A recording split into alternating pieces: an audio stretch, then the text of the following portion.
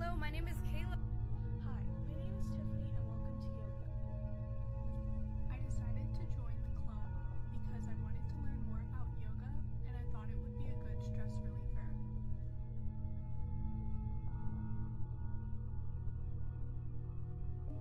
What I liked about Yoga Club was that it was a set time in my week where I could really just decompress and relax with an amazing group